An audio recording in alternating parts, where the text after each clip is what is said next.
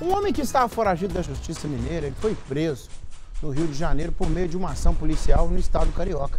Segundo as informações, ele é suspeito de ser um fornecedor de armas para as cidades de Governador Valadares e Teófilo Otoni. Deixa eu chamar o Lucas Alves, que ele tem detalhes aí. Quer dizer, a prisão foi efetuada no estado do Rio de Janeiro, mas tem relação com cidades aqui da nossa área de cobertura. Né, Lucas? Boa, boa tarde para você.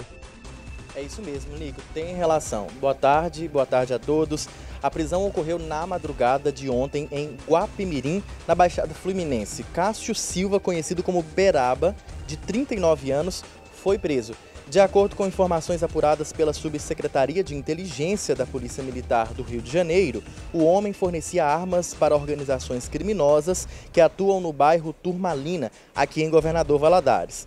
Contra ele constava três mandatos de prisão expedidos pela terceira vara criminal de Valadares é, pelos crimes de homicídio simples, onde foi condenado por 14 anos de reclusão.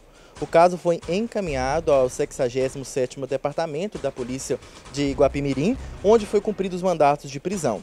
Depois ele foi levado para a unidade prisional e agora está à disposição da Justiça de Minas Gerais. Nico.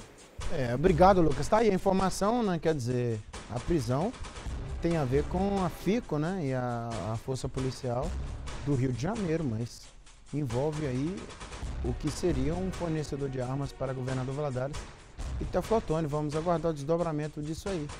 Estava sendo procurado, já foi, então, capturado, né? Preso. Obrigado, viu, Lucas, por sua informação.